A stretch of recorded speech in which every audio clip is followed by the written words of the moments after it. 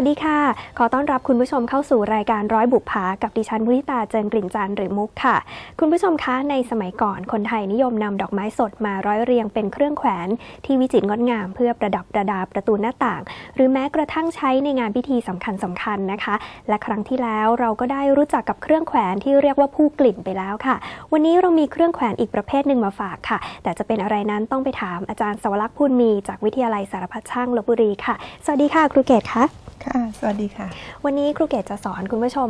ประดิษฐ์เครื่องแขวนประเภทไหนคะค่ะ วันนี้นะคะจะประดิษฐ์เครื่องแขวนขนาดเล็กค่ะ ก็เรียกว่าตะข่ายหน้าช้างค่ะ ตะข่ายหน้าช้างค่ะตะข่ายหน้าช้างนี่มีลักษณะยังไงคะค่ะ ก็จะเป็นลักษณะสามเหลี่ยมนะคะ ซึ่งค่ะสมัยก่อนเนี่ยจะใช้เอ่อร้อยจากดอกไม้นะคะ แล้วก็ใช้เอ่อคลุมเอ่อ หน้าของช้างนะคะ ให้ในพิธีสำคัญสำคัญค่ะค่ะ พิธีสำคัญที่ครูเกตพูดนี่หมายถึงพิธีอะไรบ้างคะอ่าอาจจะเป็นพิธีคล้องช้างสำคัญนะคะค่ะหรือว่าฉลองสมโพธิช้างสำคัญสำคัญนะคะค่ะ แล้ววัสดุอุปกรณ์ที่เราต้องใช้ในวันนี้มีอะไรบ้างคะค่ะเดี๋ยวเรามาดูวัสดุอุปกรณ์กันเลยนะคะ วัสดุอุปกรณ์นะคะอย่างอย่างแรกเลยก็คือเออไม้นะคะโครงไม้อาจจะเป็นไม้ไผ่นะคะค่ะแล้วก็ลักษณะเป็นอย่างนี้นะคะ จะเป็นไม้ เออถ้าคุณผู้ชมใช้ที่บ้านอาจจะเป็นตะเกียบค่ะตะเกียบแบบใช้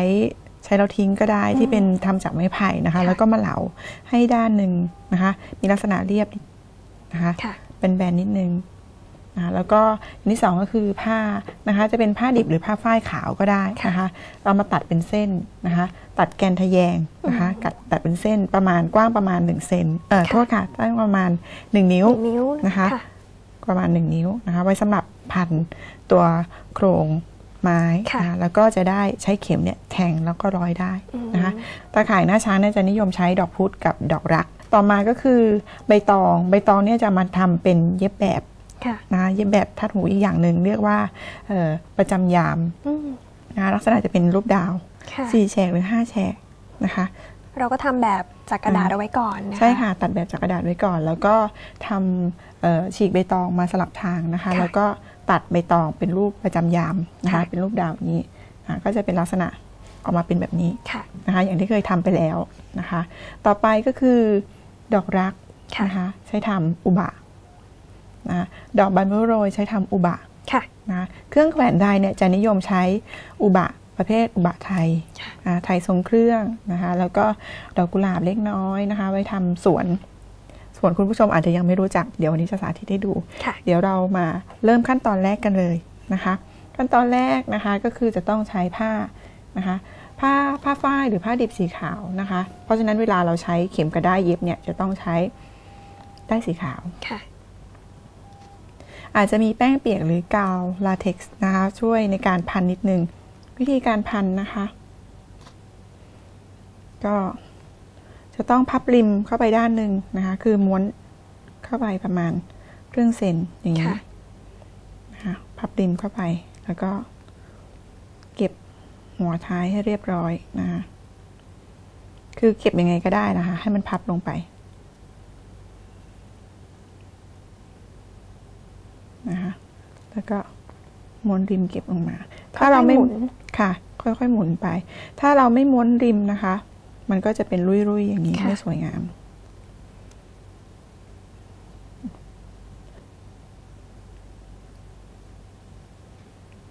แต้มนิดเดียวค่ะ แล้วก็พันไปเรื่อยๆนะคะ ถ้าเราพันไม่แน่นแล้วไม่แต้มกาวเนี่ย มันจะรูดค่ะร่นได้ค่ะ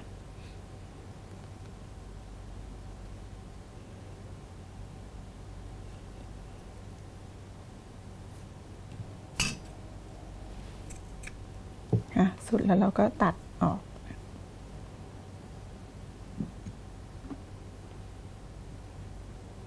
แล้วก็เย็บเก็บนะคะ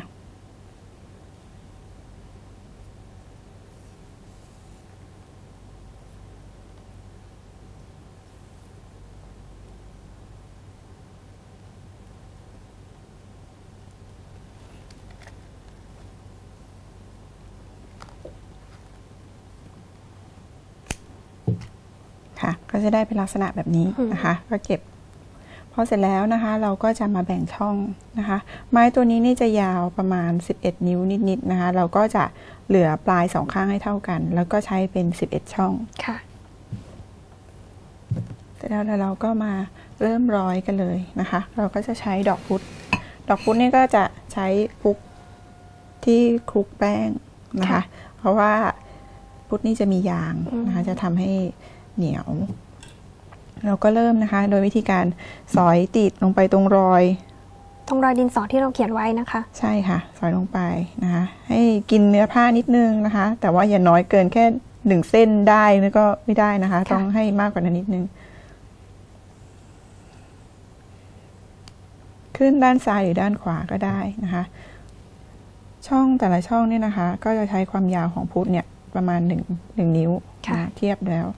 นะคะคุณครูก็ใช้เล็บเด็ดออกนะคะร้อยจากก้านขึ้นไปที่ปลายดอกนะคะ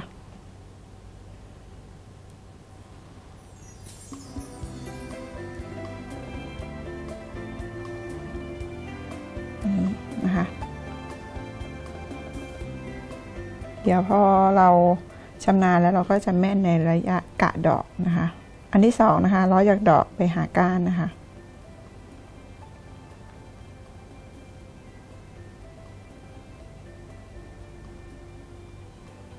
ดอกพุธนี่เขาจะเอ่อมีก้านเล็กนะคะเพราะฉะนั้นเวลาร้อยเนี่ยต้องค่อยๆร้อยแล้วก็ค่อย ๆ รูดนะคะไม่งั้นจะขาด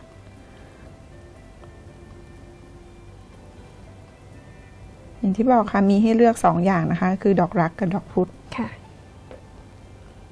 ถ้าไม่มีจริงๆเอาอะไรเอาดอกเข็มตูมค่ะอืมแต่ก็ร้อยยากเหมือนกัน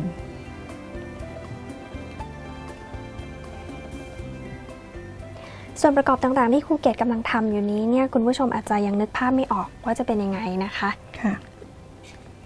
ก็จะเป็นช่องสามเหลี่ยมแบบนี้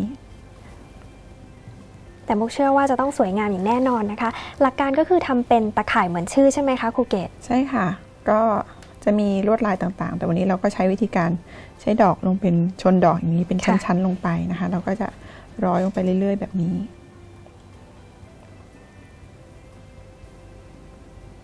รูดไปให้ถึงจุดที่เราจะหยุดนะคะ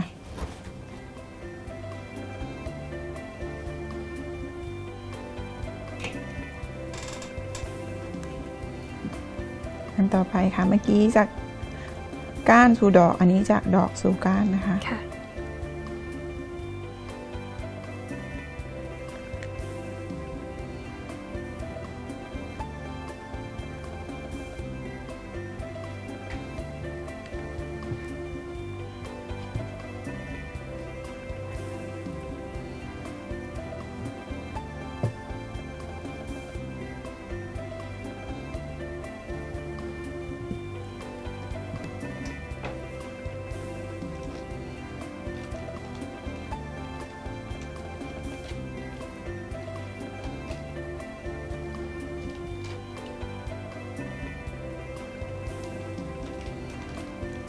คุณผู้ชมคะตอนนี้ครูเกตก็ทำชั้นที่ 1 ใกล้จะเสร็จแล้วนะคะ ขั้นตอนต่อไปก็คือทำชั้นที่2ใช่ค่ะชั้นที่2นี่มีวิธีการยังไงบ้างคะค่ะ วิธีการต่อลายนะคะค่ะก็คือลงชั้นที่2เนี่ยหรือชั้นต่อๆไปนะคะ ก็จะมีอยู่ 2 อย่างนะคะก็คือร้อยมาลัยเอ่อร้อยเส้นเดิมใช้ได้เส้นเดิมนะคะ ที่ร้อยกับดอกพุธอยู่เนี่ยย้อนกลับลงไปนะคะ ซึ่งจะค่อนข้างยากแต่ว่าความคงทนจะดีค่ะนะคะ เพราะว่าได้เนี่ยยังเกาะอยู่กับผ้าก็คือแกนหลัก แต่ว่าถ้าร้อยย้อนลงมาเนี่ยโอกาสที่พุธจะขาดอะมีเยอะอืมนะคะคุณผู้ชมที่หัดใหม่ ๆ อาจจะทำขาดนะคะ เพราะฉะนั้นก็มัดปมนะคะ มัดปมแล้วก็หยุดแค่นี้แล้วก็พอขึ้นชั้นใหม่ก็เอาได้มาผูกค่ะนะคะเดี๋ยวนี้มัดปมเลยทำไปทีละชั้นนะคะ หรือว่าหมดหมดอยู่กลางลายนะคะ ไม่ถึงริมพอดีก็ใช้วิธีการผูกเหมือนกันค่ะค่ะ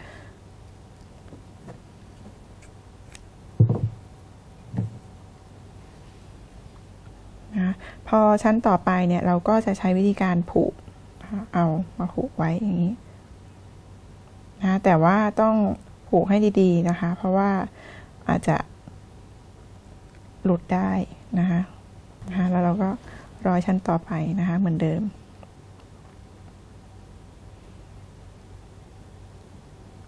ยังไม่ต้องไปตัดปมตัดได้อะไรทั้งสิ้นนะคะ ไว้ตัดทีเดียวให้เสร็จเรียบร้อยก่อนแล้วค่อยตัด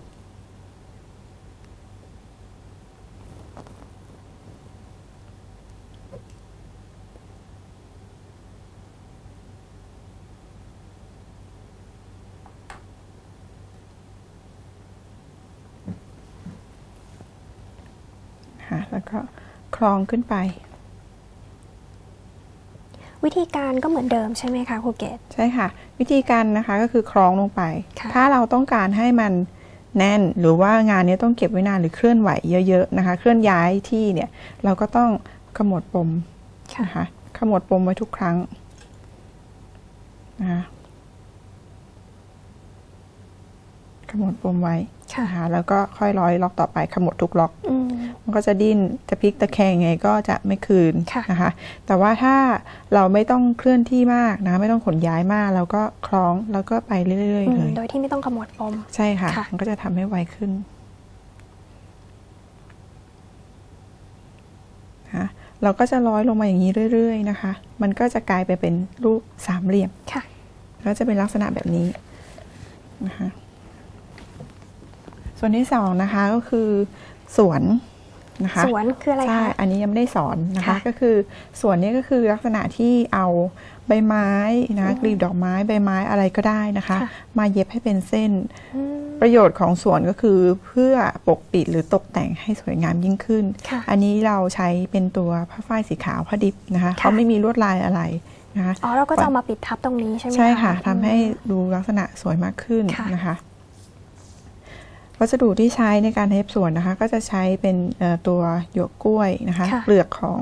ต้นกล้วยหรือว่าทางกล้วยก็ได้ที่เหลือจากอืมการที่เราตัดใบตองมาค่ะนะคะมันก็จะเป็นแข็งๆเคลือบด้านหนึ่งแล้วก็เป็นเส้นอืมเอามาเย็บได้นะคะ แล้วเราก็เอามาวัดให้ได้ขนาดเท่ากับไม้ค่ะนะคะแล้วก็เย็บวันนี้เดี๋ยวใช้สีแดงกับขาวนะคะ จะสะดวกหน่อย ก็คือใช้สีขาวจากดอกรักนะคะ แล้แล้ววสีก็แดงจากกลีบกุหลาบมอนใช่ค่ะนะคะดอกรักเนี่ยเราก็จะ ใช้ลักษณะเป็นเย็บเป็นคู่นะคะ เวลาฉีกเราก็ฉีกเป็นคู่นะคะ ถ้ากลีบเดียวเนี่ยก็จะแคบไปค่ะนะคะ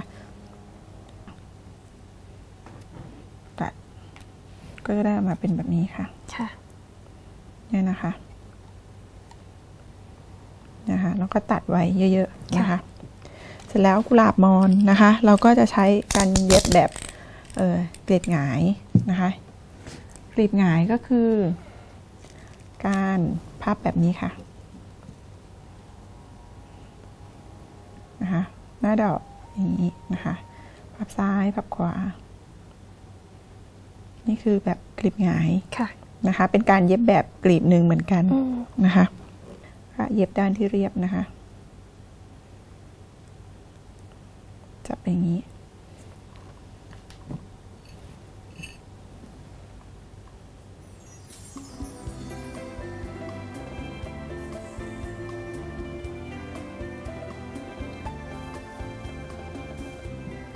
ถามว่าอาจจะมีหลาย ๆ สีก็ได้นะคะ อาจจะเป็นแดงขาวเขียว หรือว่าแดงเหลืองเขียวเหลืองอะไรก็ได้ค่ะค่ะ ที่เรามีนะคะสามารถนำมาเย็บเป็นส่วนได้ทั้งหมด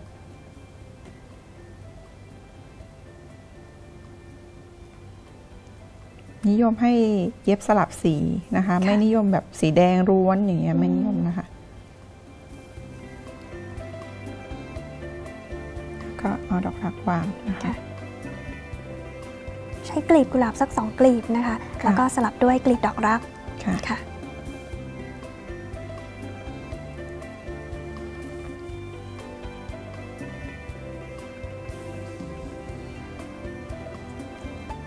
แล้วก็สลับด้วยสีแดงอีก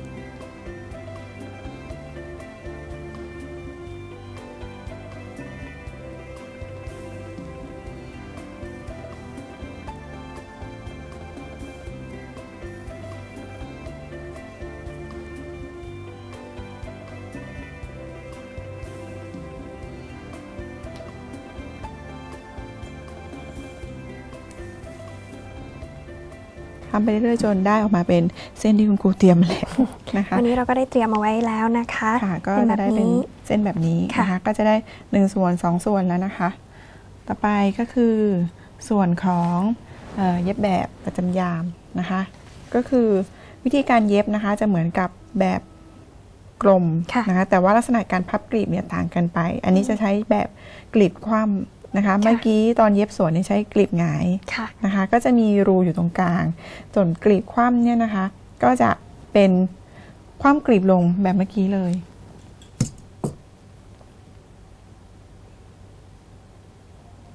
นะคะลักษณะจะเป็นเหมือนยอดแหลมสี่ยอดนะคะ มองดูแล้วเป็นรูปกลีบวัวหรือคล้าย ๆ กับสามเหลี่ยม แล้วก็จะเรียงหนึ่งกลีบสองกลีบ สามกลีบทำไปแต่ละยอดก่อน แล้วค่อยมารวมกันตรงกลางค่ะ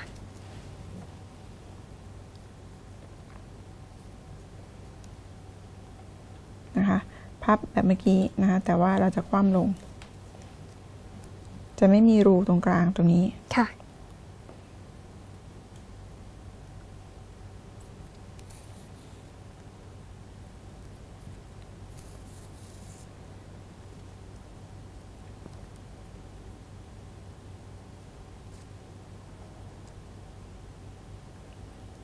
คลีบที่สองนะคะ ก็จะลดหลั่นลงมาเล็กน้อยค่ะ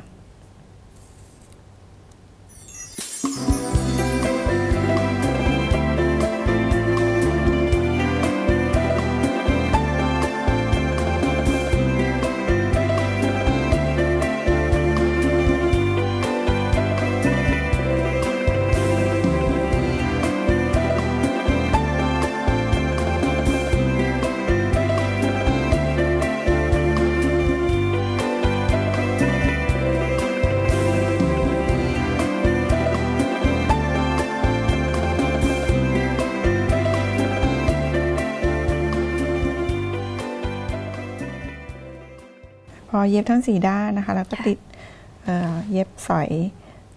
ตัวบานมิวโรยใส่ไปแล้วนะคะค่ะแล้วเราก็เดี๋ยวเราจะต้องใส่ลวดนะคะอืมเพื่อที่เวลาเราไปติดนะคะ จะได้ใช้ลวดเนี่ยพันลงไปค่ะกระดัดลวดนะคะ เป็นตัวยูเล็กๆ แล้วก็สอดไปใต้ดอกบานมิวโรยค่ะ ดอกบานเอ่อดอกบานมิวโรยเนี่ย เราเย็บด้วยได้ายและเข็มนะคะ ไม่มีไม่มีตัวเออไม้กลัด ค่ะ เพราะฉะนั้นก็ต้องเย็บติดไปก่อนนะนะคะก็จะซ่อนเข้าไปก็จะเป็นลักษณะแบบนี้อืมนะคะเราก็จะใช้ทั้งหมด 2 อันด้วยกันค่ะนะคะ แล้วก็อีกส่วนประกอบหนึ่งก็คือ ดอกอุบะนะคะอุบะก็ใช้ดอกรักกับดอกบานเมลโรยนะคะ อุบะก็จะมีสองส่วนค่ะนะคะ ก็จะเป็นตุ้งติ้งนะคะตุ้งติ้งก็คือ ขาหนึ่งของอุบะนะอุบะขาเดียวเนี่ยเรียกว่าตุ้งติ้งค่ะนะคะเราก็จะใช้เป็นลักษณะอย่างนี้นะใช้ทั้งหมดนะคะขึ้นอยู่กับจำนวนตาของดอกนะคะค่ะข้างหนึ่งก็จะใช้หนึ่งจุดนะคะ ก็คือหนึ่งช่องนี่ใช้หนึ่งจุดค่ะนะคะหนึ่งสองสามสี่ห้าหกเจ็ดแปดเก้าสิบนะคะก็จะใช้ทั้งหมดสิบสิบจุดตรงปลายนี่เดี๋ยวเราจะใช้เป็นอุบะไทยอืมทรงเครื่องค่ะนะคะ ทั้งสามด้านนะคะตอนนี้เรามีหลายส่วนกันเลยนะคะ ก่อนจะประกอบเนี่ยเรามาทบทวนกันอีกทีค่ะว่าส่วนประกอบของเราเนี่ยมีอะไรบ้างนะคะค่ะอันแรกก็คือตะข่ายใช่ค่ะนะคะตัวตะข่ายที่ร้อยแล้วนะคะค่ะส่วนที่สองก็คือเราเรียกว่าสวนนั่นเองส่วนค่ะนะคะแล้วก็อันที่สามนี่ก็คือทัดหูประจำยามนะคะประจำยามนะคะค่ะสุดท้ายก็คืออุบะค่ะนะคะ แล้วก็อีกส่วนหนึ่งที่ขายไม่ได้คือ หูที่จะคล้องนะคะอืมก็ร้อยเป็นเส้นธรรมดาค่ะนะไม่มีไม่มีแบบอะไรมากค่ะ ขั้นตอนต่อไปเราจะทำอะไรกันคะครูเกตค่ะ เมื่อส่วนประกอบต่างๆ ครบแล้วนะคะค่ะเดี๋ยวเราก็มาประกอบกันเลยดีกว่านะคะค่ะส่วนประกอบก็คือเดี๋ยวเอาตะข่ายมานะคะ แล้วก็ติดสวนก่อนค่ะนะคะ ปลูกต้นไม้ซะก่อน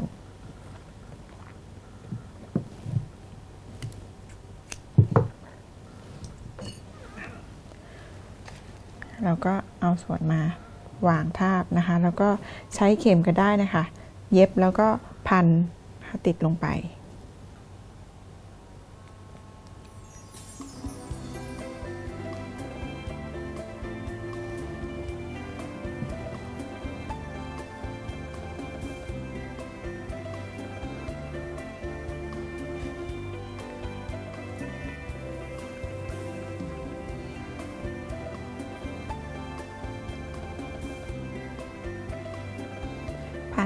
สอดลงไปนะคะ ในกรีบแล้วก็ค่อมแล้วก็เย็บด้านข้างลงไปค่ะ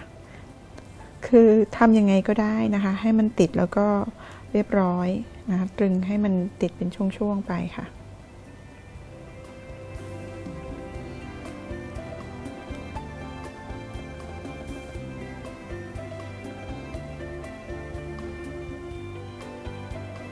เอาได้ซ่อนลงไปในระหว่างกรีบเนี่ยนะคะ แล้วก็ ค่อมมาแล้วก็เย็บติดกับผ้าที่อยู่ด้านล่าง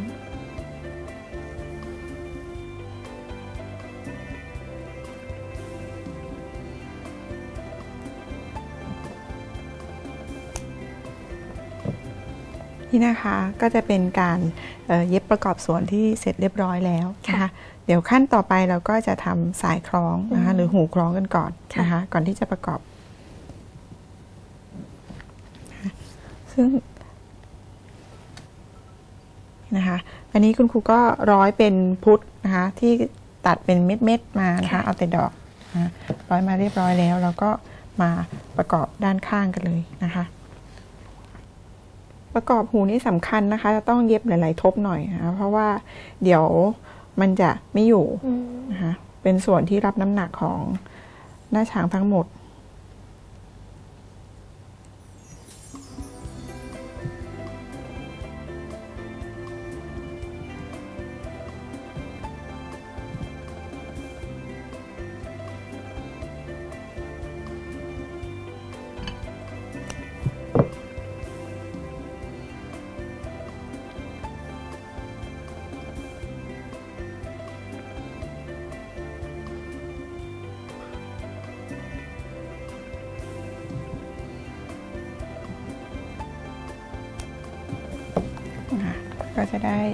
ประกอบของหูเรียบร้อยแล้วนะคะค่ะเสร็จแล้วนะคะเราก็จะมาประกอบอุบะกันค่ะก็จะมีทั้งอุบะขาเดียวหรือตุ้งติ้งนะคะ แล้วก็อุบะไทยทรงเครื่อง ตุ้งติ้งเนี่ยจะอยู่ทางด้านซ้ายแล้วก็ขวานะคะระหว่างกลางตรงนี้นะคะส่วนไทยทรงเครื่องนี่ก็จะมีหนึ่ง สองสามสามมุมสามนะคะมุมนะคะหรืออาจจะเพิ่มด้านบนอืมด้วยก็ได้นะคะค่ะเป็นตัวแขวนเพื่อให้ตัวนี้ไม่โล่งเกินไปค่ะนะคะเดี๋ยวเรามาประกอบตุ้งติ้งกันเลยนะคะ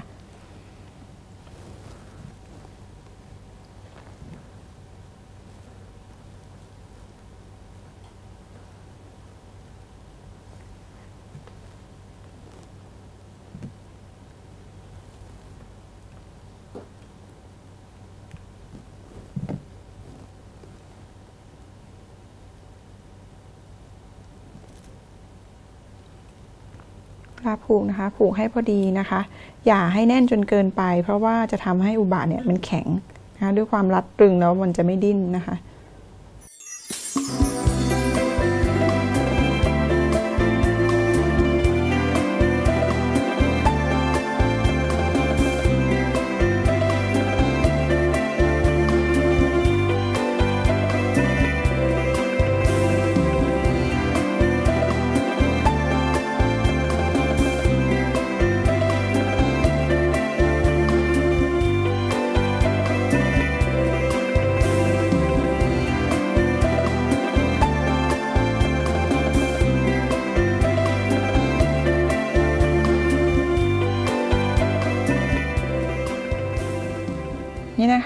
เมื่อเราผูกตุ้งติ้งนะคะ หรืออุบะขาเดียวเรียบร้อยแล้ว ลักษณะก็จะได้เป็นแบบนี้นะคะ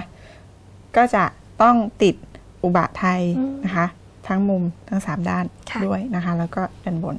ต่อไปก็คือติดอุบะนะคะค่ะนะคะ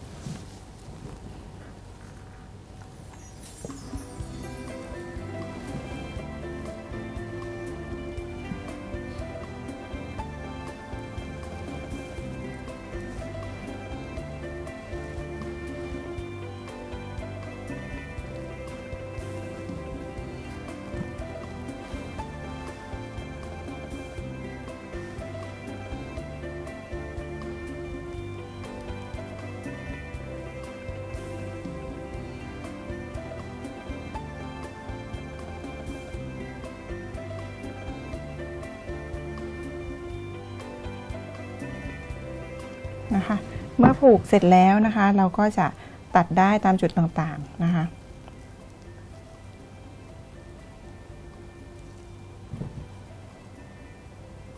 ตัดให้ชิดนะคะ แล้วก็เสร็จแล้วเราเอากาวนะคะ แต้มนิดนึง เพื่อที่ปมจะได้ไม่หลุด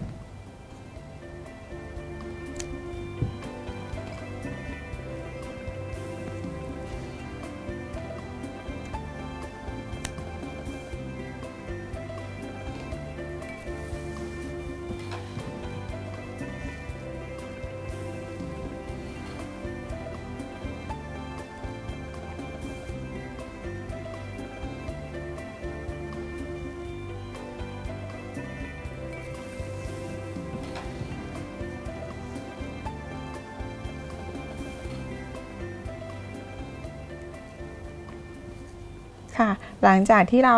ผูกส่วนประกอบต่างๆ เกือบค่ะครบแล้วนะคะ พวกอุบะตุ้งติ้งอะไรต่างๆนะคะพอผูกเสร็จแล้วก็ตัดได้นะคะค่ะตัดแล้วก็เดี๋ยวแต้มกาวนิดนึงนะคะ เพื่อที่ปมจะได้ไม่หลุดนะคะแต้มทุกจุดเลยนะคะ โดยเฉพาะจุดที่เราผูกไว้เมื่อกี้ อืม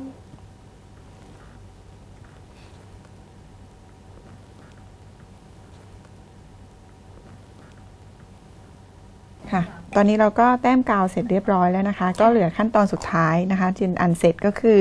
ติดประประกอบจำยาตามประจำยามนะคะค่ะ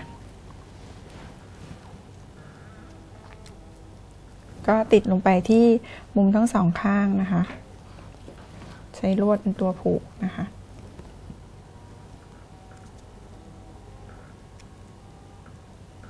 แล้วก็ครีมใช้ครีมนะคะ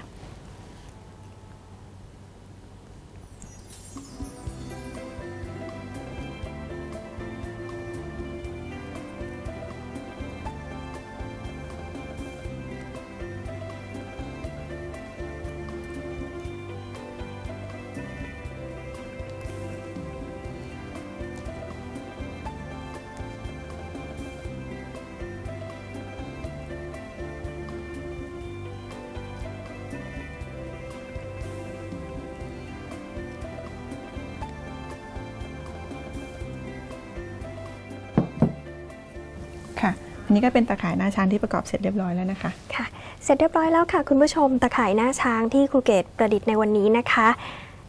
สวยงามมากทีเดียวนะคะ มีหลากสีสันเลยนะคะ